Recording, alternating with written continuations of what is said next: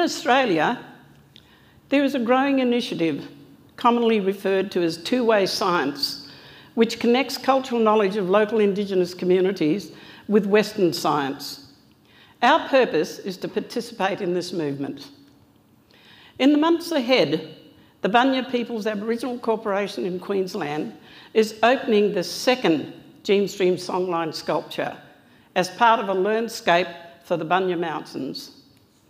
Our vision is that a continuation of actual and augmented reality sculptures will form a national tourism trail, which will increase an awareness of spiritual relevance of songlines, ecological restoration, cultural restoration, threatened species, and how, through time, deep time, all species are connected.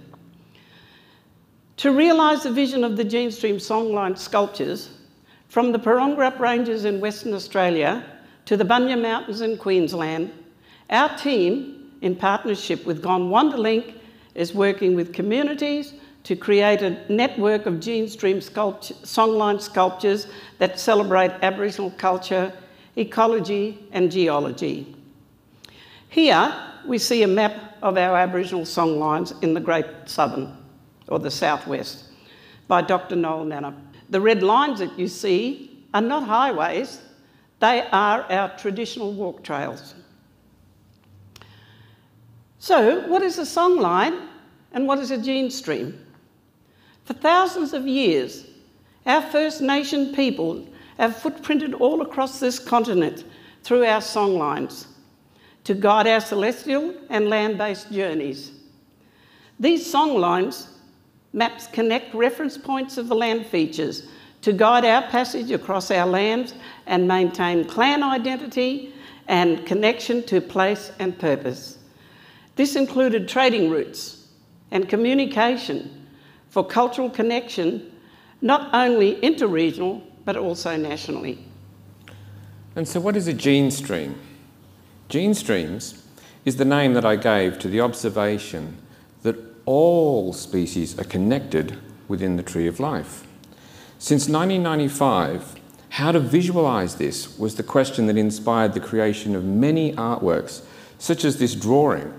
It's a detail of a phylogenetic tree. So, what is a gene stream? We're all familiar with a gene pool. Well, a gene stream is the sum total of a species' ancestral gene pools through time. A gene stream is the story of heredity flowing through space time within the tree of life.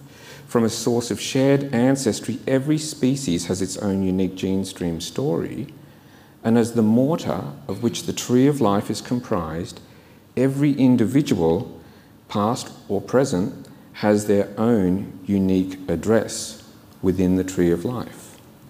And most importantly, it's actually locatable. Nature is the sum total of its gene streams. So, we can imagine that from this perspective, a songline may be viewed as a means of nav- navigating through and surviving within the gene streams. We achieve this by connecting with other species through our totemic system. We need a new way of empowering people to adopt their own totem species, to connect with, to care for country. This includes awareness about threatened species as well as totem species that are important to us Aboriginal people. Here you can see my totem, the Tulyarak tree, Eucalyptus pleurocarpa. We use our totems to identify our tribal boundaries and our connections to the natural world. In the past, when I have been giving Welcome to Country, I have demonstrated how the time period of colonisation compares to our First Nations people's occupation of Australia, which I want to share with you. This is my depiction of the rainbow serpent, or in Noongar, the Wagyl, that our songlines tell us about. The first white lines you see on the rainbow serpent highlights colonisation. Then the next one is the last ice age, some 12,000 years ago. Eventually, at the end, you can see that we have some 70,000 years of proven Indigenous occupation made visible. With this visual literacy tool, I hope you gain an appreciation of the depth of time that Aboriginal culture has continued to live in sustainable harmony with the land. We both have an interest in making the passing of time visible. When I began this journey, I created this painting, 590 million years on a flat surface. In the work, one centimetre represents a million years, and each panel represents a different period of geological time. Later on, during an artist residency project at Uluru in Central Australia, I participated in modelling the supercontinent cycle in space-time, and I refined tools which enabled me to compress and expand the axis of space-time in order to see inside of phylogenetic trees. This enabled me to simultaneously view individuals of the same gene stream in different periods of geological time. I expressed these tools through collaborations with Indigenous and non-Indigenous artists. I began to comprehend that Aboriginal culture was in its foundations scientific. In reference to Auntie Carol's depiction of the rainbow serpent, in recent times, fossil evidence has been found of a giant python called Wonambi. So, through the knowledge within the song lines, we gain insights into the ancient past.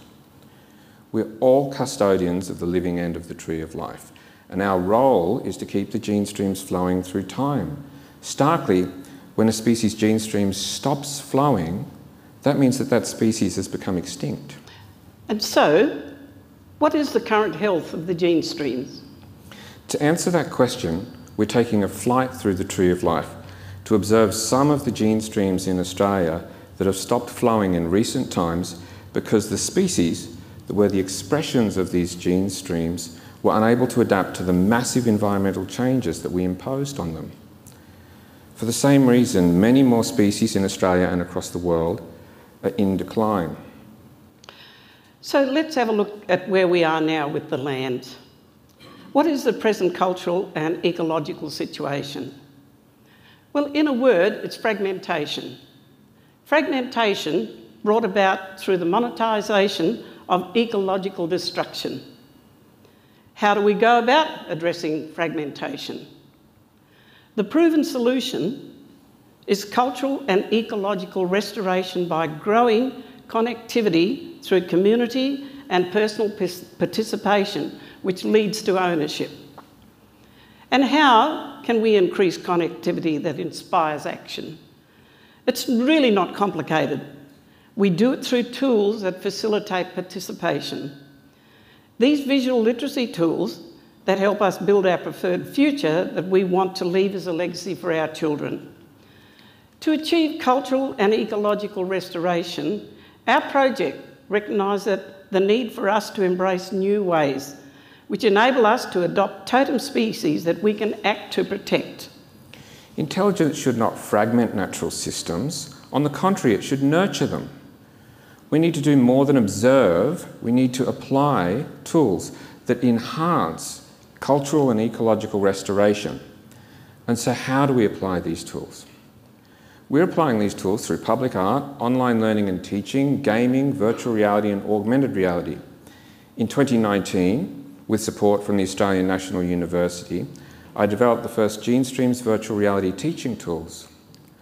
The GeneStreams Songline sculpture is based on an interactive phylogenetic tree that I designed to assist communities to comprehend and bring natural systems back into balance.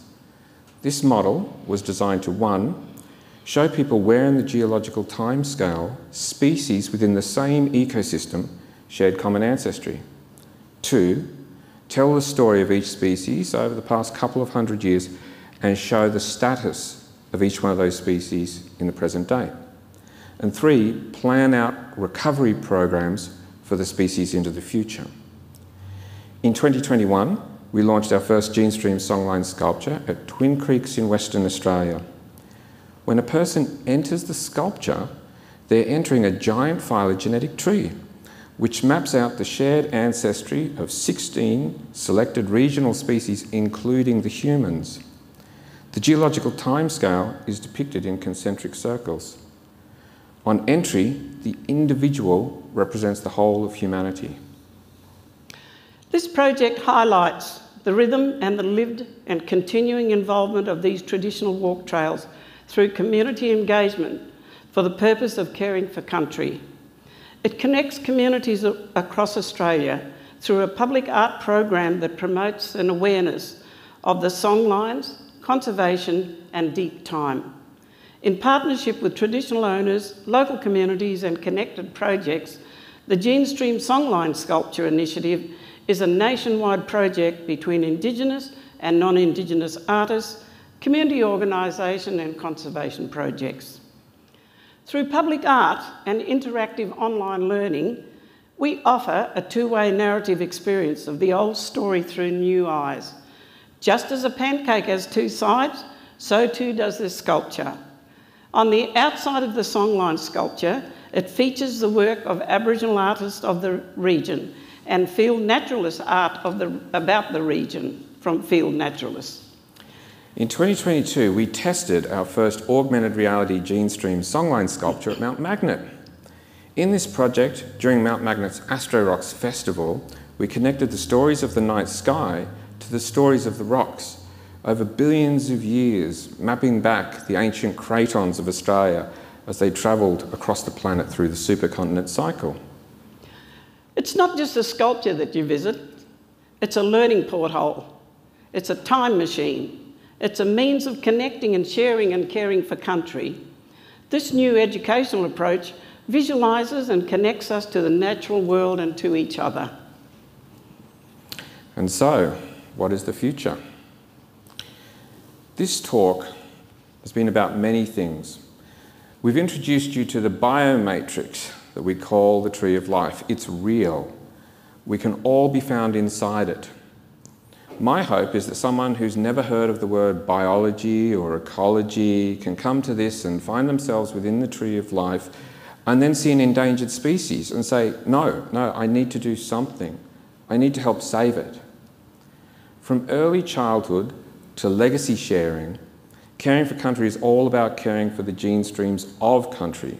And this is how we can share the story.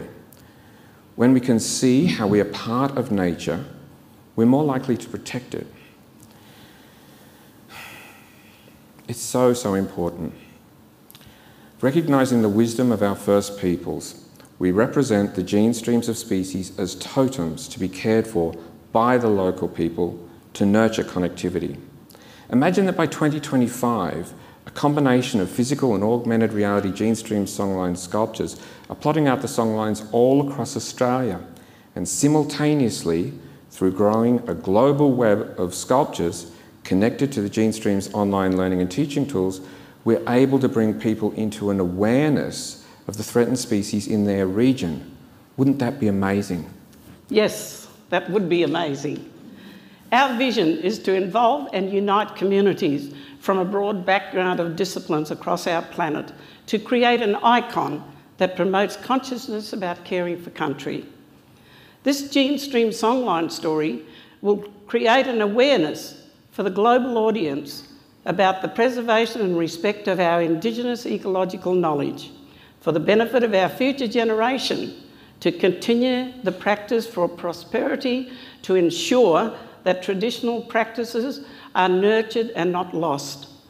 The richness of these songlines is about caring for country through spiritual synergies of the land in all its realm. Reconnecting to country with a deep time awareness of our place our and our location within the tree and our roles and responsibility as custodians in bringing species and ecosystems back into balance.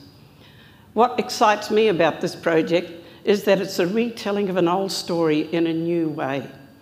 It's combining two narratives of our First Nations peoples whose footprints are all over Australia. It tells how our people survived. It tells about the creation of the landscape within the Dreamtime stories. It tells about the protection of the country. It tells about honouring our flora and fauna. It tells about the ecological knowledge and of how we care for country. So, within this project, there are many stories which will be retold that brings everybody into the spirituality of treading the footprints of our ancient people. The songlines don't have borders. And the gene streams certainly don't have borders. And therefore, we invite you to walk with us on this journey, on this global movement of growing and caring for a green and connected future.